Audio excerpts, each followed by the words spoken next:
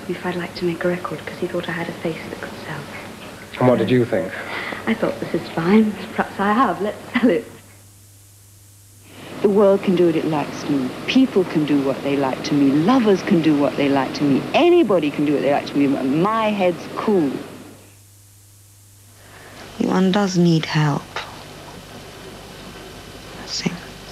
You have to be very honest about it with yourself. You have to admit that you're on the junk heap first. Never trusted anybody. At all. I don't know why it was hard, but I just didn't.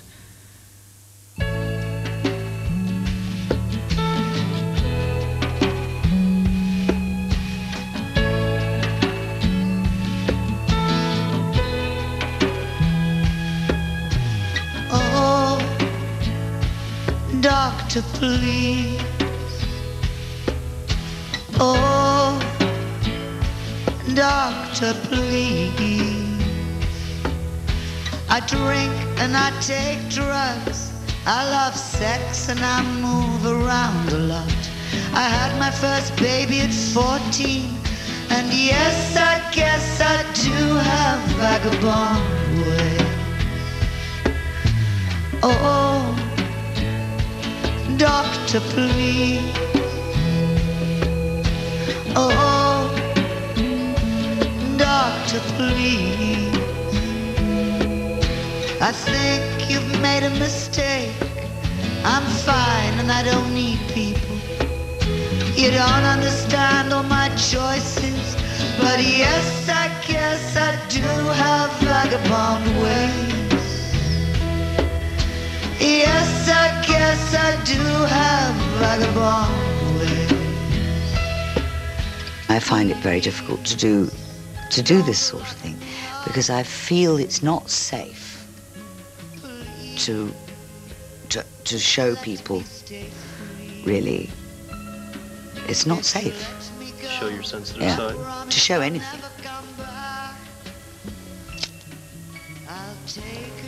I mean it's the same old thing you must have heard it a million times the way I choose to show my feelings is through my songs And yes, I'm afraid.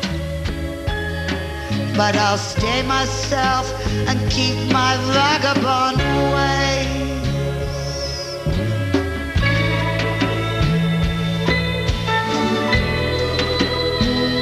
We've always been good friends, yeah, ever since uh, Andrew Oldham uh, found her in a convent and said, write a song for her. She really uh, has always seemed the quintessentially English girl, which she isn't at all. She sort of comes from this sort of almost gothic background.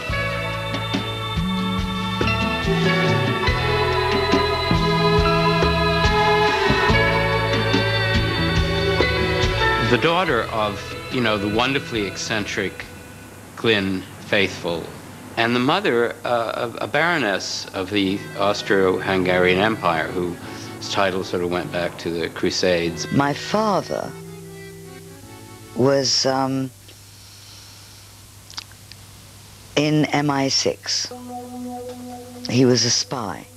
He had a very, an amazing ability to speak any European language, French, German, Russian, Czech, anything, without an accent. He had an ear.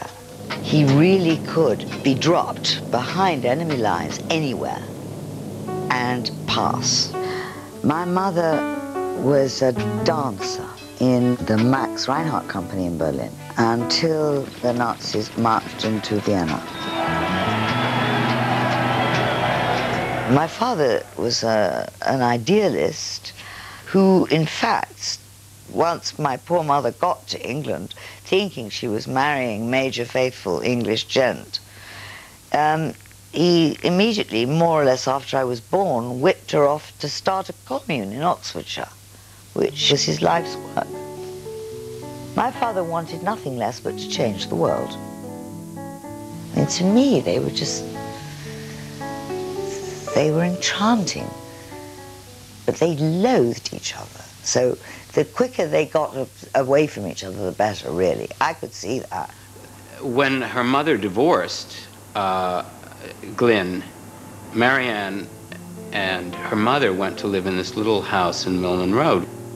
I was sent to St. Joseph's. I was not a Catholic.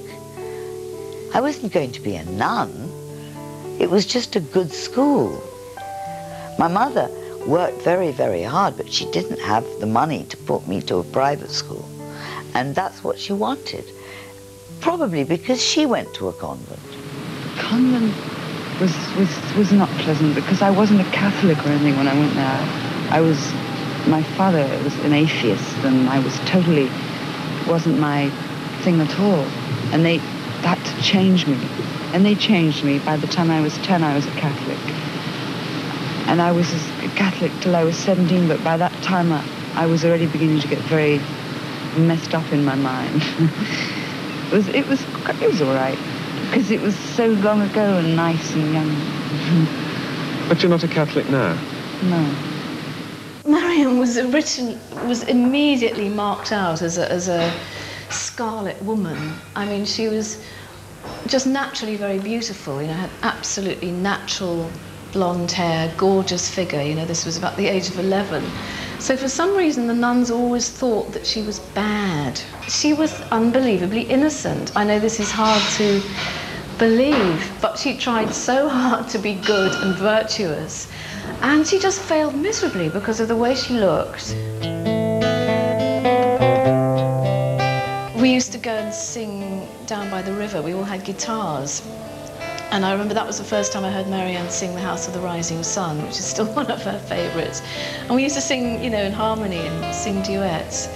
It was a completely wholesome, fun, beautiful time. By the 60s, Britain was prosperous again, and uh, all these kids were coming of age. So the whole scene was incredibly charged, and it almost seemed um, you know, uh, as in one of these fantasy films, as if the kids were taking over the country. I must have been 16. In fact, I was 16. Every boy's dream, basically. I was invited by one of my mates from Leighton Park to a Valentine ball at Cambridge University. And this guy with little glasses, wearing a, a Mexican shirt and a waistcoat and jeans, really cool jeans, and boots, came up to me and um, asked me to dance. And it was John. He was a schoolgirl. And I dumped the poor guy I was with. Well, I mean, we just went to ding and uh, started talking. And, you know, we, nobody could separate us, sort of uh, days practically. Ah, it was magic. It was like a whole doorway opened up into a world that I didn't know. He, he smoked pot. He was that hip. He knew Burroughs. He knew Allen. That's how I met Allen Ginsberg. And he knew Paul McCartney, and he knew Jane Asher, and he, you know, he knew everybody. And of course, as it happened, he also knew Andrew Oldham. Your mother said of you, uh, the minute Marianne gets to London, someone will discover her, and indeed they did. Absolutely, it was incredibly gloomy. I mean, did you literally arrive overnight with a suitcase in your hand, and, Oh, and, and no. the following week? No, no, you no. were- I was, no, no, no, no, no. no, I just came up for a party. They said, would you like to come to a party in London? And I said, oh, I've never been to a party in London. Okay. And I went to a party with the man I later married, John. The Rolling Stones and Andrew Oldham, their manager at the time, were present. Well, I was just standing there, and there was John, and there was Andrew Oldham, and they weren't talking to me. They were saying, um, Andrew said to him, can she sing? and he said, I don't know. and they talked about me like this, and then they said, can you sing? And I,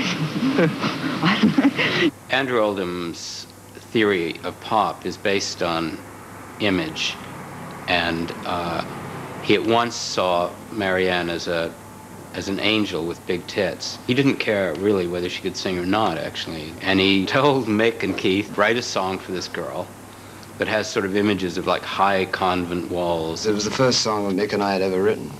After our first album, Andrew Oldham locked us in a in the kitchen, said, "Don't come out until you've got a song." You know, and we thought, "Oh, well, great game. You know, we'll just piss around, have something to eat, have a drink, and say, sorry, we haven't got anything." But somewhere in the middle of that night, we wrote "As Tears Go By." Went to the studio and learned a completely different way of singing, which was called recording. But I, I was so stunned by the whole thing, I just buttoned it for once. This week, I have the great pleasure to introduce a very beautiful young girl who's only recently made a name for herself, Marianne Faith.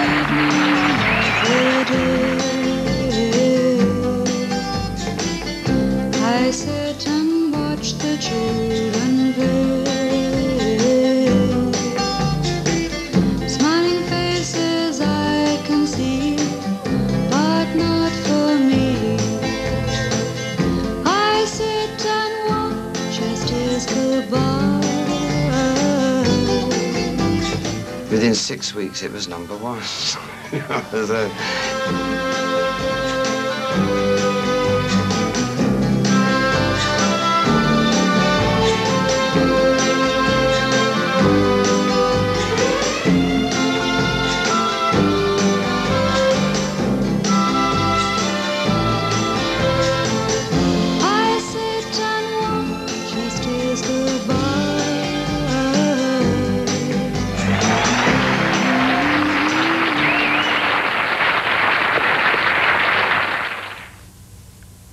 very upset. We, he got back from holiday in the end of September or the beginning of September.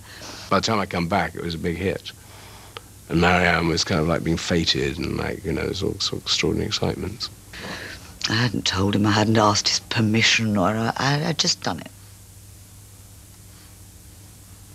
I didn't see what business it was of his. This little bird that somebody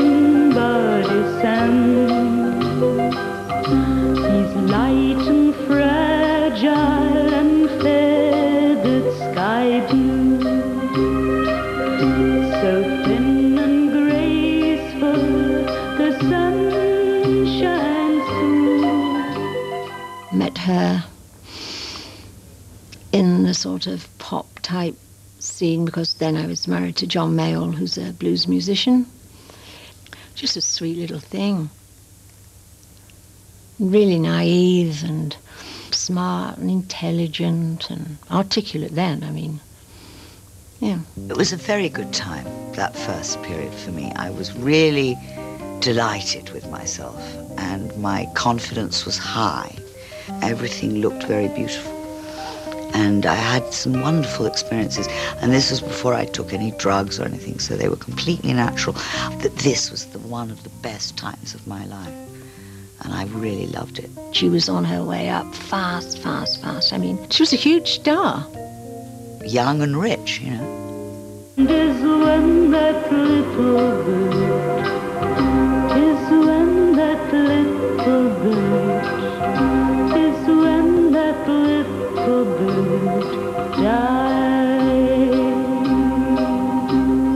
And then she got pregnant and we got married, you know. It was like a, you know, a, a kind of adolescent romance, you know. We were both, so we were both very young.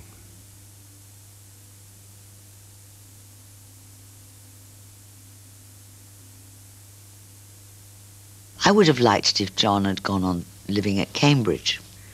I mean, if that had happened, I would have missed the whole thing. But that's what I really want. A sort of lovely scholar's wife life at Cambridge University. I would have loved it.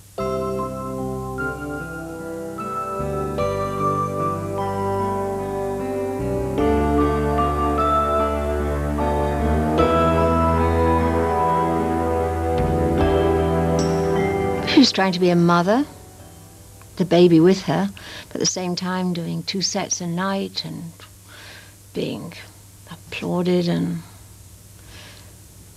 it was very difficult then to come back and be a little housewife was very difficult. got pretty unpleasant. I mean, she kind of got very weird about money at one point. It was just she was seemed to just nag and nag about money, and yet it was partly as I think her self-defense because she was just going out without telling me and like buying mad clothes and not daring to bring them home because she was never going to wear them. It was like a kind of, you know, before she discovered heroin, that was her thing, was shopping. It was completely doomed, all this, this period of domesticity. I wanted a sort of straight bourgeois marriage, you know, and I'd certainly picked the wrong person for that. We just sort of gradually fell out. She became kind of, as far as I was concerned, ghastlier and ghastlier. And presumably, as far as she was concerned, I became kind of like less caring and more kind of interested in my friends and so on, I suppose, you know, looking back. I think Nicholas was about a year old or a bit older. And I just had enough. I just couldn't go on. It, it just didn't. It didn't work, and it wouldn't have worked. Yes, I'll be as true as true can be. If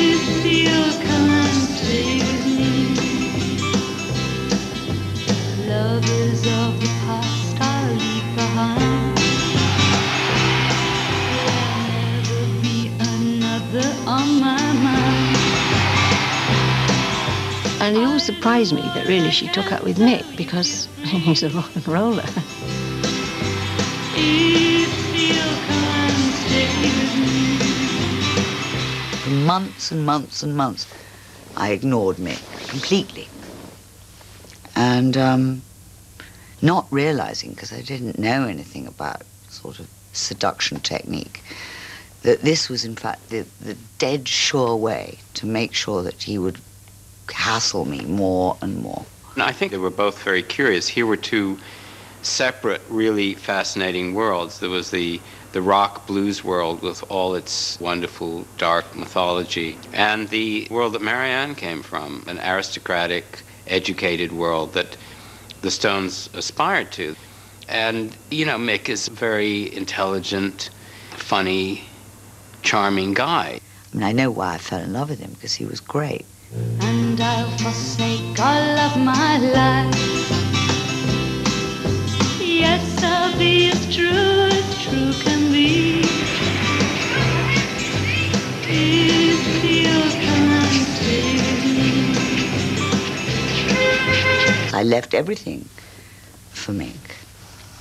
Stopped working, completely gave all my intelligence and my sort of innate grasp of the whole thing to him, to his music, to his work. I went too far, of course, as usual. Well, she was playing really two roles then. She was being uh, the glamorous star and the, the gorgeous girl on Mick's arm. And at the same time, I think her inner self was like sinking. Because then it was the girls, like when the boys were busy, the girls were kind of together. We didn't know what to do with ourselves. Like when we were not really allowed into the uh, recording studios, or it was like a bit kind of a macho male male kind of things. They even had a clubhouse at the end of the garden where they would go and play and leave the girls to go shopping and, you know, find out what the next drug is, darling, you know. The Stones were just beginning to get really powerful. And I was continually sort of shooting my mouth off about how wonderful it was to take LSD. But something like LSD, if it wasn't meant to happen, it wouldn't have been invented. Because the one, the, the really explicit phrase is doors of perception. And that is what drugs are. They are the doors. They're not anywhere. I mean, it, it, you don't go anywhere. You just see a crack like I'm looking at you now. It was all very uncool. What I, I, I was real trouble like that, full of the joys of being young and strong. I think I'm really powerful. They can, they'll smash me, probably. I had no idea what they could do. Certainly to the point where all this stuff could be planned. And it was, in fact, we found out afterwards. The effect of the encounter with the Stones would have been very different if it hadn't been for the bust at Redlands in February of 1967. It was meant to be a lovely weekend taking acid with my dearest friends, which in fact it was until 24 cops walked in She just had a bath, and the cops arrived at the door. And so she threw this, uh, I had this fur rug, bedspread, right? So she's lying there.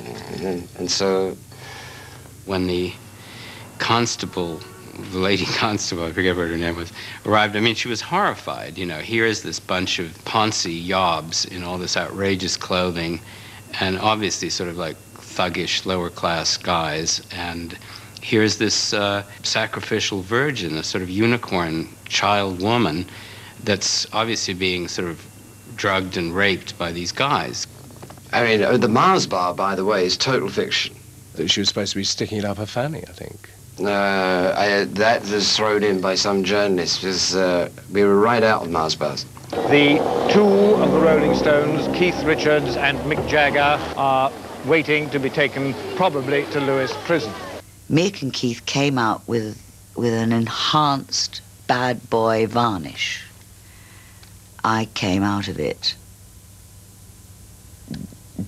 diminished, demeaned, trampled in the mud. My feminine self had been completely besmirched by this. What it did to Marianne was it totally changed her image. She was referred to in the press as Miss X, a nude girl, Miss X, wrapped in a fur rug. It made her into this, this, this person she really wasn't. I'd accepted my role as bad girl in fur rug. I thought, right, you've cast me like this, I'm going to go for it. To hell with you all. Falling from grace, falling from grace.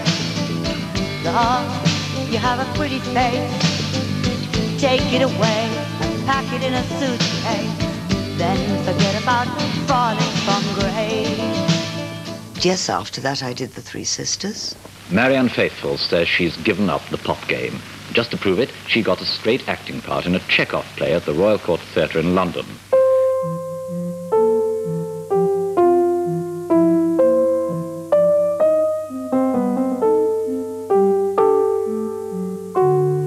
Heroin addiction uh, began in the way the, these things often do, very uh, unintentional, offhand manner.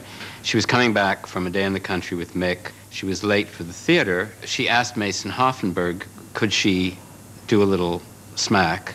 And uh, we don't know how, why this would help, but it did. I was doing heroin like a holiday, occasionally.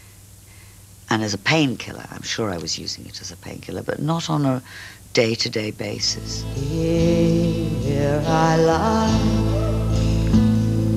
in my hospital bed. Tell me, Sister Morphine, when I'm coming round again. Oh, I don't think I wait.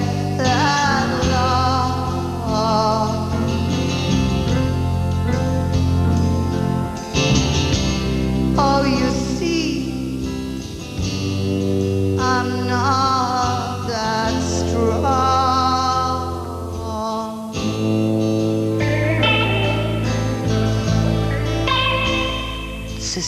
When I wrote it with Mick, course, I mean, I didn't write it on my own. It was very important in it. It was something we did together, which was particularly lovely that we had a sort of shared project, and it was very important to us both.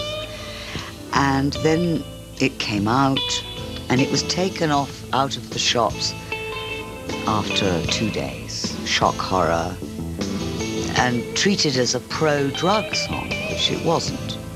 It was a story about somebody, about a man in a hospital dying from a car accident.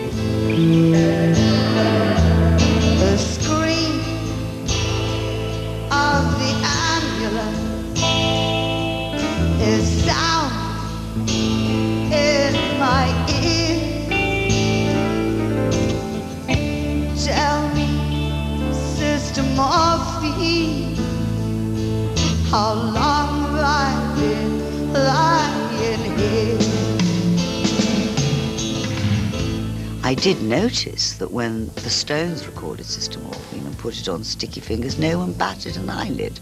That might have been when I first realized that there were completely different rules for men and women. And you can sit around and you can watch the clean white sheets stain red. Time it started to get hard, because I was playing such a complicated role, was when I was doing Hamlet. That's when I started to get really sucked into depression and sadness.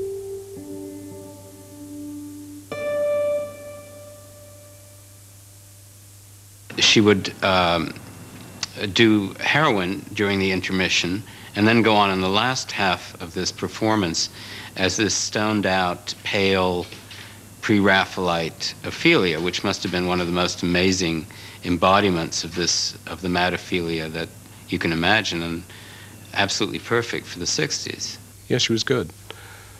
Um, and she played Ophelia Mad particularly well. Kind sister, sweet Ophelia. They bore him barefaced on the bier. Sing, hey nonny, nonny, hey nonny. And in his grave rained many a tear. Fare you well, my dove. Oh, how the wheel becomes it. I took the drugs because we were all taking the drugs and they were around. And, and whenever you're young and rich and successful and very powerful, there will always be creepy people coming along to give you drugs. You know, it's one of the things that you don't realize when you're in that position. And before you can think twice, you're, you're in trouble. He walks along singing his fairy song, picking up magic that grows at his feet. She says her say in her peculiar way, dreaming fortune on everyone's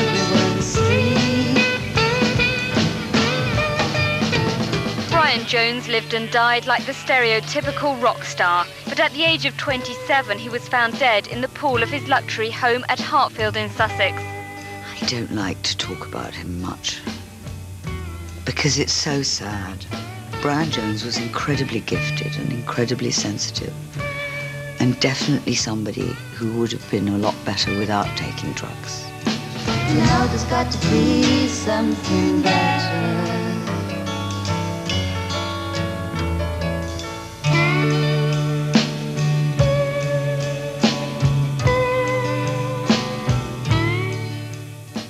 Being the sort of kept plaything of a great rock star wasn't really my destiny. I did know that. The unfortunate thing was that I really loved him. And if we'd been in any other situation except the gilded cage, we could have had a wonderful life together. But the gilded cage wasn't really my bag at all. It is absurd to live in a cage. You know there's got to be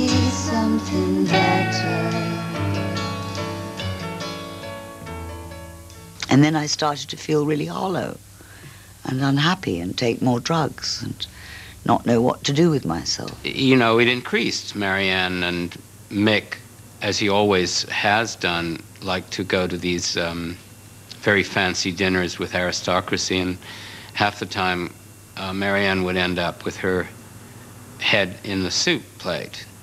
So he stopped taking her. She stayed at home, took more drugs. I think the drugs were, were used by me as a way of suppressing my natural spirit. And it worked. You know, that's something that happens if you take heroin. You don't speak. You don't want to speak. You're just sort of blank. So it helped me to become a blank.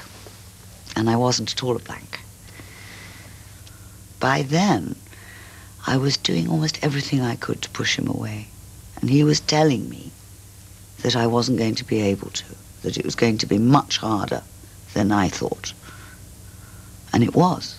Mick and Marianne went to Australia. Mick was cast as Ned Kelly, uh, the Australian bandit. And when they were there, about two days, Marianne took a, an overdose of sleeping pills Miss Faithfull is in a deep coma in hospital today and is expected to remain in that condition for some considerable time.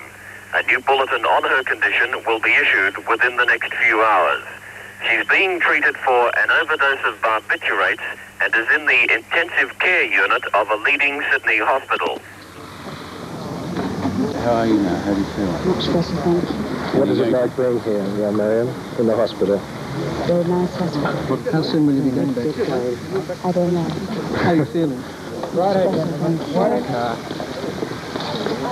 Take it easy. Although her life is no longer in immediate danger, she's still very seriously ill and doctors fear she may have sustained brain damage. After taking 150 sleeping pills and being in a coma for six days and coming out okay, I realized that I wasn't going to be able to get out that easy.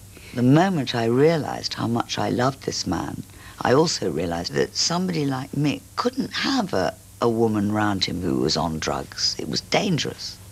It would destroy everything he'd worked for. It was a negative influence. And I loved him very much. I didn't want to do that. It's easier for me to say our relationship broke up because of drugs than to admit the truth, which is our relationship couldn't work because I didn't know how to have it. I didn't know what to do. I didn't, I think it's basically a lack of trust, isn't it?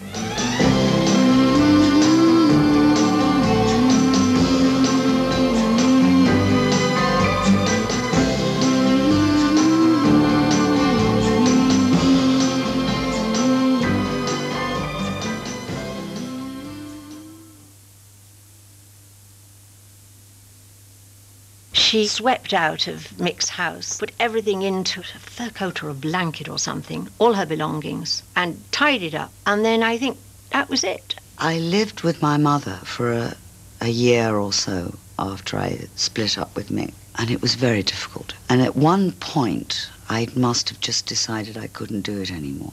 And I came up to London and decided to see what would happen.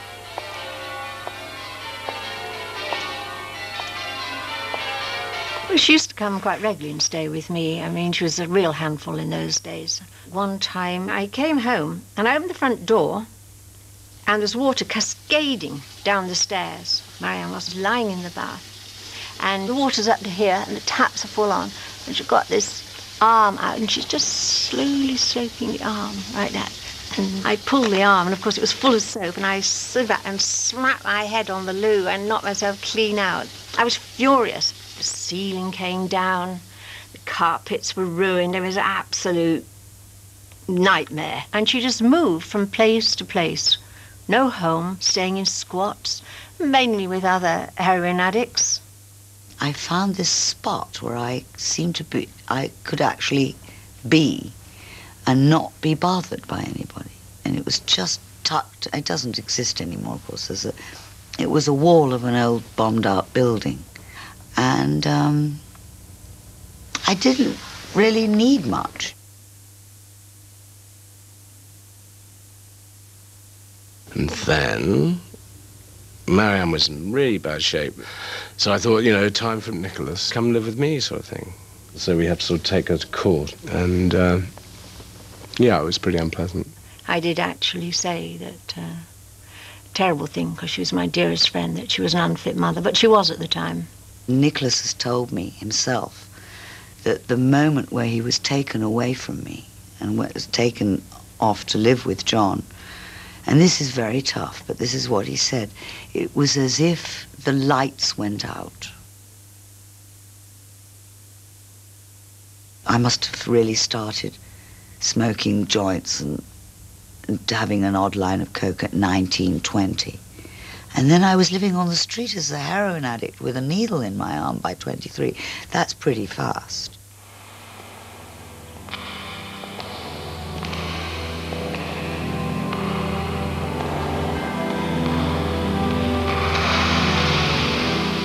I had a life, a child, you know, so many reasons not to do this, but I went completely against it all. Having bad times Now I'm paying dues, got shoes and money, good friends too. Always play to win, always seem to lose. That's why I think I got a rich kid's blues. I was living on a wall with no money and nothing. And they get me to do this record called Rich Kids Blues. It's one of those surreal things that happens all the time in my life. I'm afraid I can never bring myself to like the result because I was in such bad shape. It's nine years since Marianne Faithfull, the 17-year-old convent girl from Reading, became another overnight pop star. Then came the well-publicized romances, a suicide attempt, no work, and finally addiction to heroin. I hope that I find what I'm reaching for, the way that it is in my mind. She was vilified as a, you know, a slut, drug addict, a whore, and cast out of England. And then the Irish took her to their bosom. That period in the 70s in Irish society was a terrible time. The civil war in the north was at its worst, and there was a very profound sense of loss throughout the whole island. And it was as if this woman suddenly gave voice to the whole experience of a nation. It became almost like an unofficial national anthem.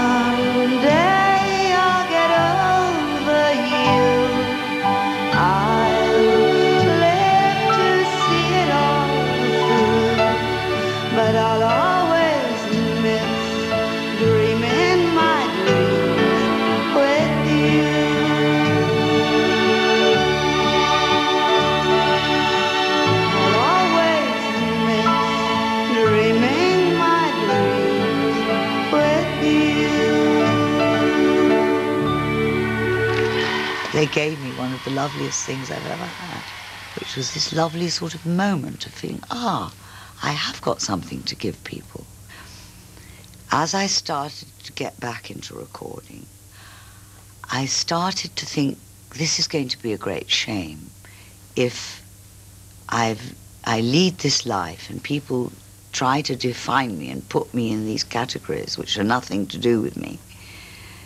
How would it be if I did it myself and really put everything I have into into making a, a record that is going to express me? And so um, once we started writing, it didn't seem to me as though this was, uh, I was working with someone who sang Three Little Birds or something, uh, you know, these little, wha- wha- whatever the title of the song was. And uh, it became very natural that, um, you know, she's a great lyricist because she reads a lot. The first thing we wrote was broken English.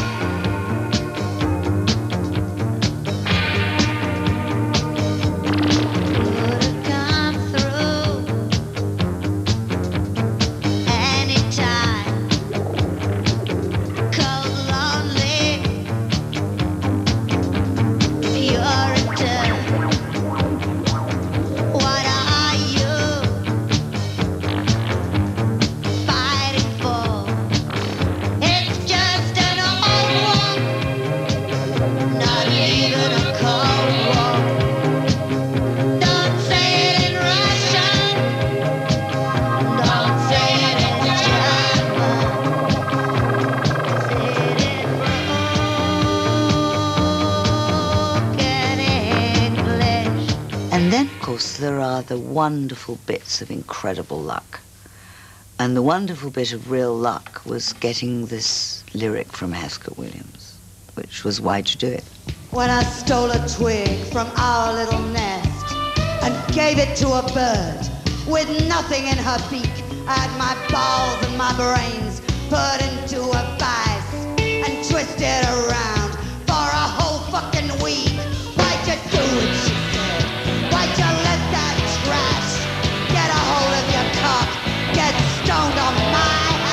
People think I wrote it myself, which is a great compliment to me, because it means I do it with complete authority, but actually I didn't. It was written by Heathcote, all the lyrics. And the band and I put it put it together, sort of made it into a I suppose it's an early form of rap music. I remember when when she came down to uh, to rehearsals with a lyric, and uh, and and just started spitting out this lyric to us, you know, and uh, all the musicians are there going, "Ah, okay, well. Every time I see your dick, I see her come to my bed.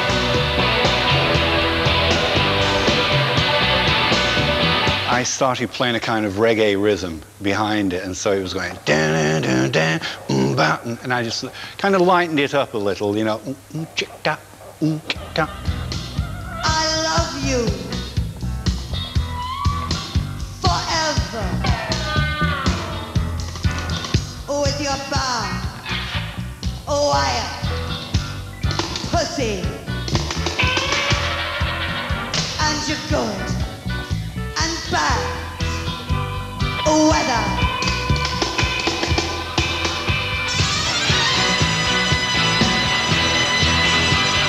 all this pain frustration, it fused into this wonderful work of art. And one day, I, I heard broken English. It's as simple as that. And that changed my life. I found out where Marianne lived, and I went and knocked on her door. I started working for Marianne. Um, I moved in. This was, to me, just this other, other world.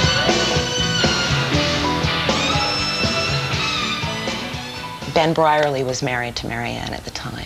He used to be in a band called the Vibrators, and he was a very attractive, sort of wild punk.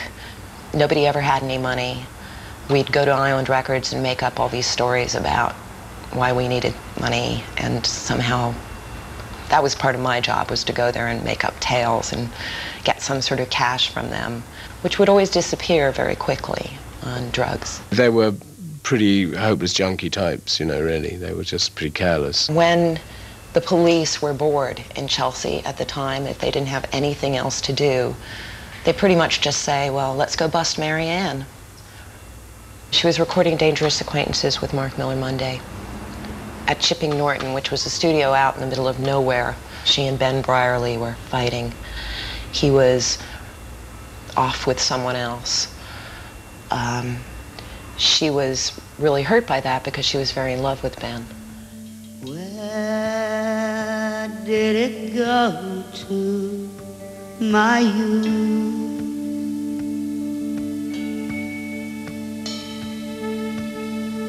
Where did it fade away to? Or was it told the truth, the bitter truth? The truth we didn't want to know. Marianne's mother came up to visit her during this time, which didn't help matters because Ava would bring up a lot of different feelings in Marianne. And Ava was very disapproving of Marianne and very much a perfectionist, and Marianne could never be good enough. So that created more drug taking and more drinking, the pressure of it. You know, there, there were times that I was really concerned that, you know, we'd um, that I'd wake up in uh, a hotel room like the day after and find, uh, you know, that, that Marianne had, had, had died during the night or whatever. the loneliness and the emptiness and the um, the sort of futility. It's this absolute repressed fury, you know, that you cannot say anything. If you told anyone how you felt, they would be consumed on the spot. So what the addict does, what I did, is took it out on myself. in a tough part of the city. Waiting for some fast talk. Watch, don't walk to walk.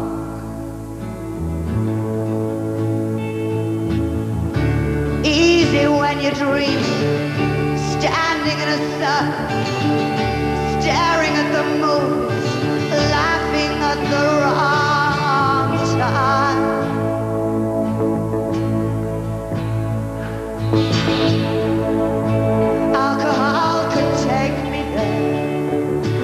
In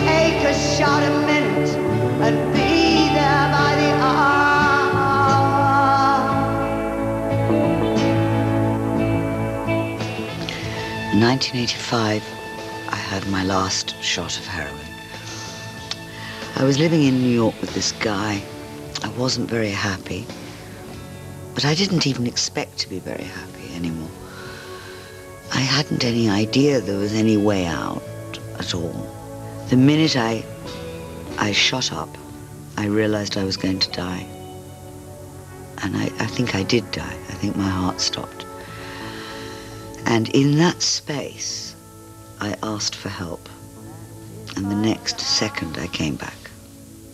Jesus Christ me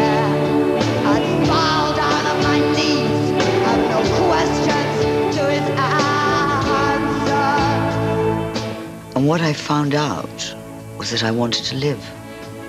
I didn't want to die. I thought I did, but I didn't. But I didn't know how to live. I had to find out how I could live without drugs and alcohol. And a friend of mine and a friend of Chris Blackwell's called Tom Hayes, who'd been in treatment himself for alcoholism, called me and I was trying to say things like, oh, I'll go to a health farm, I'll do things like that. And Tom, who I knew and liked, said to me, don't you think it's a bit more serious than that? And suddenly I just felt myself sort of let go. And I said yes. Take a walk around Times Square with a pistol in my suitcase and my eyes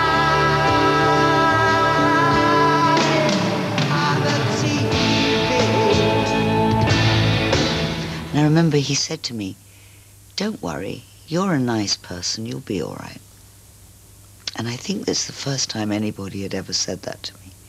And I felt, um, I felt like I would be all right. I've suddenly started to trust someone, to trust another human being. I'd had a strange and shifting childhood, you know. I just didn't believe, I had believed people, and it turned out to be wrong. And I would say that I did what I had to do in the world I grew up in and lived in to survive. And I did survive, but I was getting to the very end of my rope. I couldn't go on anymore. I just couldn't. And I think I would have rather been dead than carry on living like that. And then, of course, going to treatment, I found out that there was another way to live, that you didn't have to live like that. What I didn't know was whether I'd still be able to do what I really wanted to do. But I found out that I could. It is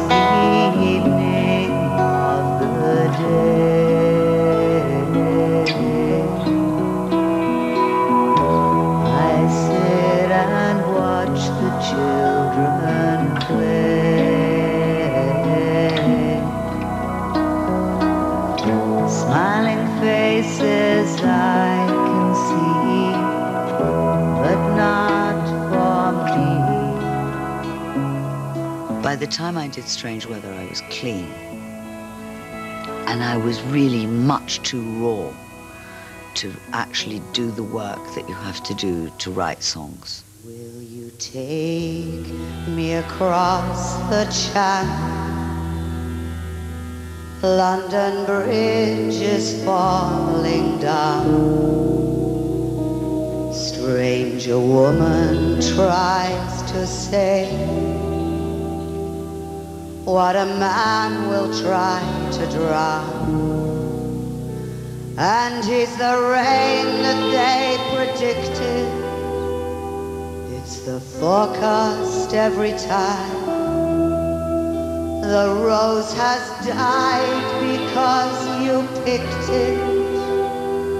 I believe that brand is mine. Wonderful because I didn't write them, but I could. I, I did them as if I had written them. I mean, it's a really great acting job, actually. And all over the world, strangers talk only about the weather.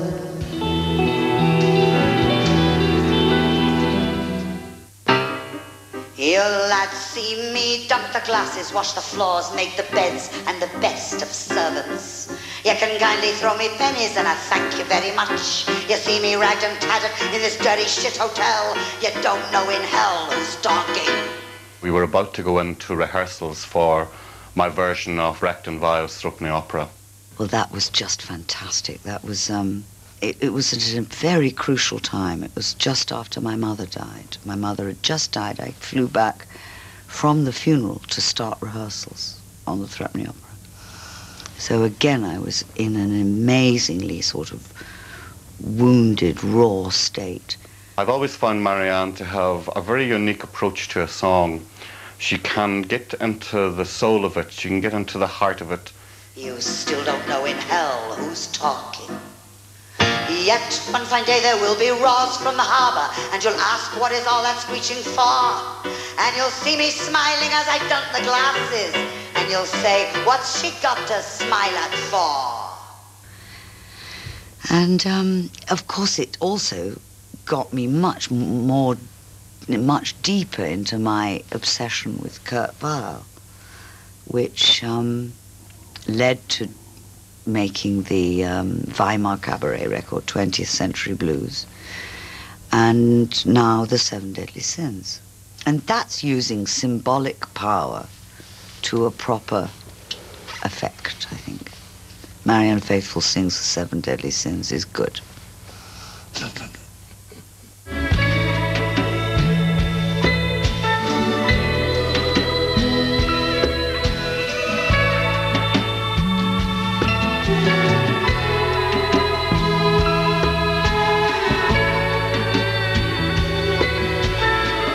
People have been starting to make um, wonderful, really dark records, and this is my specialty. And it cheered me up, and I decided, well, okay, if they want to see how to make a really dark record, I'll make one. And I did. Laying on the living room floor on those Indian tapestry cushions you.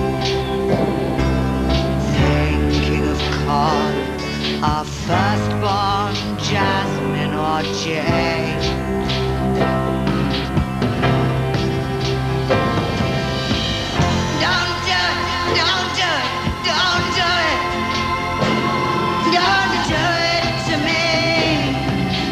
I'm usually never proud of anything that I've I, I- I've played, and you know, it's like, yeah, that's that's good. But this one, I, I'm I'm I'm really pleased with everything about it, the production, the playing, and you know, I mean, Marianne's singing is, you know, she's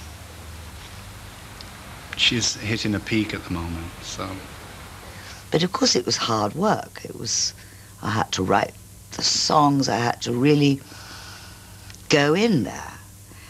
But it was okay. I was safe. I was, I didn't have to take heroin. I didn't have to lose my mind. I, I didn't have to even take Prozac. I was okay. Great expectations I had to fight.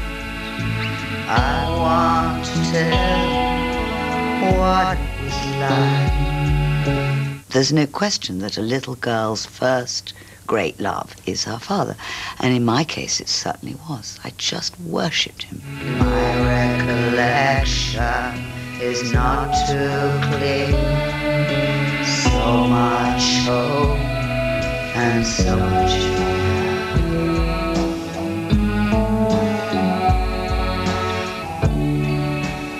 I adored my parents. But of course, the great heartbreak was, was when my mother left my father. And I lost my father. And I only found him again in the last five years, and he died in February. So it's very emotional for me. And um, I sometimes think that's even the reason for all this stuff with Mick. That the only love I really understand of, of the masculine figure is unrequited. The story's ended now, you're on your own. Let's say a little prayer and go home.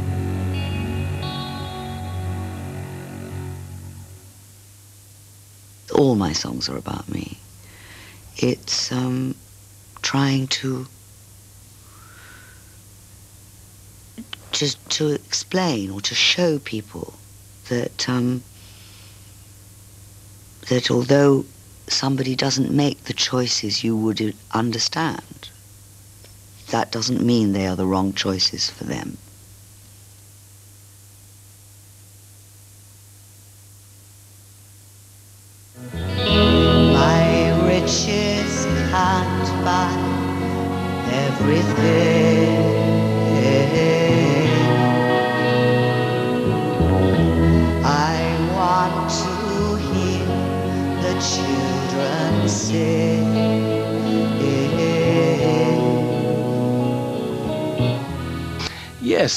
We're grandparents. What can I say?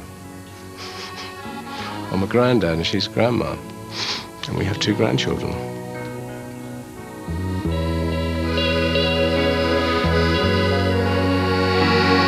I thank God for Nicholas and his children. And Nicholas and Carol are really sweet to me. Nicholas particularly understands me and knows knows my rather complicated position, which I have in fact have painted myself into. Marianne as a person is not the Marianne Faithfull that we hear on records or we think of as the mythological character. She's almost like the caretaker of her own legend.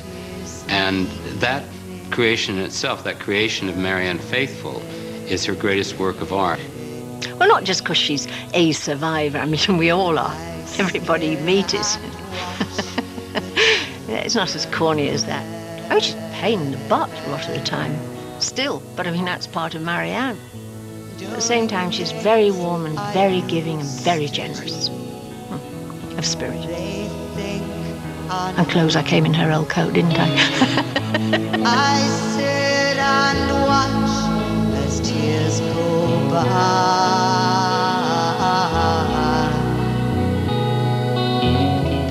I was just thinking of, you were asking me to describe her in one word, and I said that I, I couldn't do that. And some of the new words that I came up with were funny, and tragic, childish, spoilt, sad, but basically really beautiful.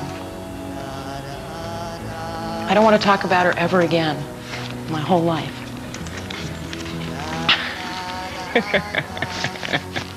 She's got some guts, that girl apart from a great pair, too. I love you, darling. Da, da, da,